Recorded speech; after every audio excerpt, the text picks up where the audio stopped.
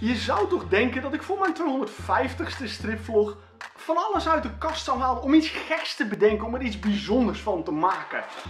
Nee, ik heb eigenlijk besloten om dat niet te doen. Ik heb besloten om het rustig te houden en gewoon te kiezen voor een hele ontzettend gave strip. Want recentelijk is bij uitgeverij Darko de eerste integraal uitgekomen van de science fiction klassieker Ravian.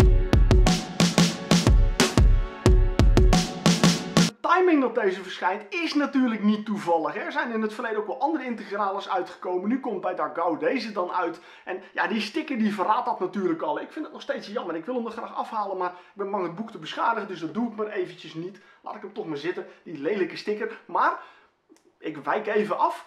Het gaat natuurlijk om het feit dat dit jaar Valerian in de bioscoop komt. De verfilming van de stripklassieker van Jean-Claude Mégère en Pierre Crestin, gemaakt door Luc Besson. Ik moet eerlijk zeggen dat de reden waarom ik deze strip uiteindelijk toch gelezen heb, is toch Luc Besson geweest. Want ik ben een hele grote fan van zijn werk. En het is wel bijzonder hè, want 20 jaar geleden werkten Jean-Claude Mégère en Luc Besson ook al samen aan de film The Fifth Element. Maar ik had inderdaad wel zoiets van, ja, dan moet ik toch eindelijk wel de strip gaan lezen. Want nou ben ik toch wel heel erg benieuwd. Ik heb hem al in het verleden, heb ik hem heel vaak wel in mijn handen gehad en toch altijd wel weer weggelegd. En dat is dat, dat probleem wat, ja, ik verwacht dat heel veel stripliefers dat toch ook wel hebben. Van, ga je aan iets nieuws beginnen wat je niet kent, waar je een beetje over twijfelt, ja of nee. En elke keer nog, als ik toch gezegd heb, ja, ik begin eraan, heb ik er geen spijt van gehad. En dat is met deze ook, want vanaf de eerste bladzijde had ik zoiets van, Wauw, dit is gaaf. Ik had veel eerder aan deze strip moeten beginnen. Jean-Claude Mégère en Pierre Christin hebben met Ravian zo'n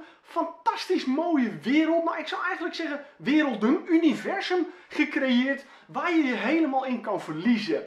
En dat is precies wat ik zoek in een strip. Als ik een strip lees, dan wil ik helemaal in dat verhaal opgeslokt worden. Dat ik alles om me heen kwijtraak, vergeet. Dat je bij wijze van spreken een kanon naast me af kan schieten.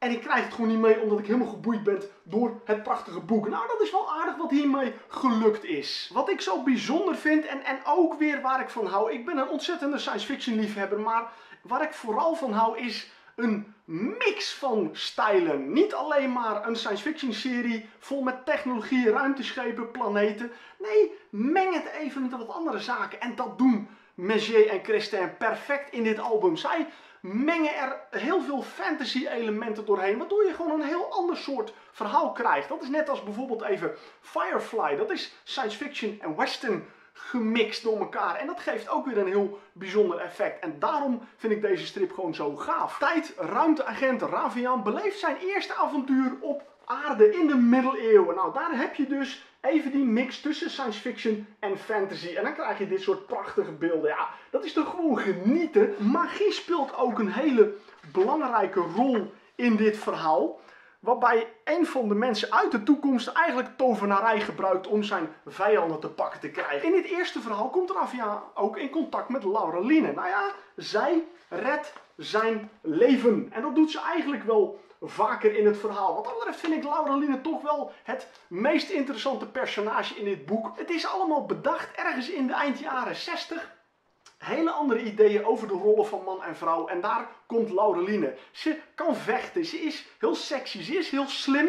Ze klaagt regelmatig waarom dat de meisjes het toch steeds moeten ontgelden. Zij is gewoon een van de allereerste vrouwelijke superhelden. Heel vooruitstrevend, helemaal geweldig. Dat is een van de belangrijke redenen waarom deze strip ook gewoon zo ontzettend gaaf is. Wat ik dan ook wel grappig vind is hoe ze even uh, Laureline omvormen in drie plaatjes van een middeleeuws meisje naar een bijna ervaren tijd-ruimteagent. Ravia en Laureline bezoeken ook New York, ergens in de jaren 80 wat helemaal onder water staat. Dat doet een beetje denken aan de film The Day After Tomorrow. En ze bezoeken Yellowstone National Park, waar vulkanen uitbarsten en lava eigenlijk alles en iedereen bedreigen. Zo weet Pierre Christin met allerlei spannende avonturen, prachtige werelden, interessante personages en een visie met deze strip mij pagina na pagina geboeid te houden. Het eerste verhaal, De Levende Dromen, verscheen in 1967 in het Franse blad Piloten. En Tekenaar Jean-Claude Messier liet al zien dat hij die visie ontzettend mooi vorm kon geven.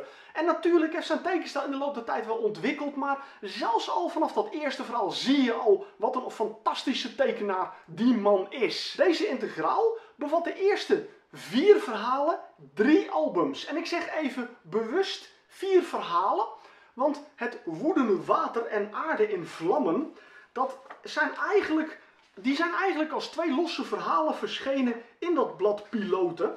En je ziet ook in de integraal dat ze als twee losse verhalen gebracht worden. Alleen toen ze later als in albumvorm uitkwamen, zijn de verhalen ingekort. Bij deze hebben we de verhalen in de originele lengte. Het derde verhaal, het derde album in dit boek, is natuurlijk wel de belangrijkste voor Ravian geweest. Het keizerrijk der duizend planeten. Want dat is toch een beetje het moment geweest dat Ravian zich definitief vestigde als zijnde, dit is gewoon een topstrip. En ja, laat ik eerlijk zijn, dat is het ook wel zo. Want als ik dat verhaal lees, de werelden die ze daar gecreëerd hebben, ja, die zijn gewoon zo ontzettend gaaf. Dat is zo genieten. Dat is echt iets waar je helemaal in kan verliezen. De personages, de spannende verhaallijn. Er zit zo ontzettend veel in. Dus absoluut ben ik het er helemaal mee eens dat dat zeker toch wel het mooiste verhaal uit deze integraal is. Maar ik zeg al, ik ben vanaf de eerste bladzijde absoluut fan. En goed, ik heb natuurlijk het een en ander verteld, maar ik vertel dit als vanuit iemand die recentelijk Ravian heeft ontdekt. En ik denk dat er wel meer mensen zijn die Ravian misschien nog niet ontdekt hebben. Zowel oudere striplezers als een jongere generatie. En ik hoop dat de film Valerian gaat helpen om die jongere generatie deze strip ook te laten waarderen. Ehm, de fans, de liefhebbers die Ravian kennen, die vertel ik natuurlijk niks nieuws. Die hebben waarschijnlijk alle albums al. Voor hen is het even de vraag of deze uitgave nog interessant is. Het 15 pagina's stellende dossier zou misschien nog interessant kunnen zijn. Waar natuurlijk, laten we eerlijk zijn, wel heel veel ook over de film gesproken wordt. Een interview met uh, Mercier en natuurlijk Luc Besson. En, en dat vind ik toch wel even belangrijk, er wordt ook even een hoofdstuk gemeld aan de overeenkomsten tussen Ravian en Star Wars. En dat is heel belangrijk, want mensen die de strip Ravian niet kennen, die de geschiedenis van de strip niet kennen, die straks die film gaan kijken, die gaan zeggen van joh, die hebben alles gejat van Star Wars. Nou, lees even hoe het werkelijk zit en dan zie je dat Ravia al veel ouder is dan Star Wars en het juist andersom is. Ben je nog niet bekend met Ravian? Heb je toch de stap nog niet genomen om deze strip te gaan lezen? Kan ik je maar één advies geven. Ga naar de stripwinkel.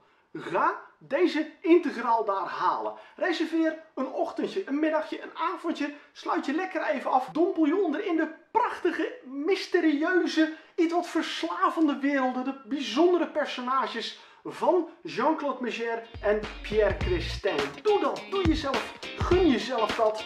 Je mag me later bedanken. Ik wens je in ieder geval heel veel leesplezier.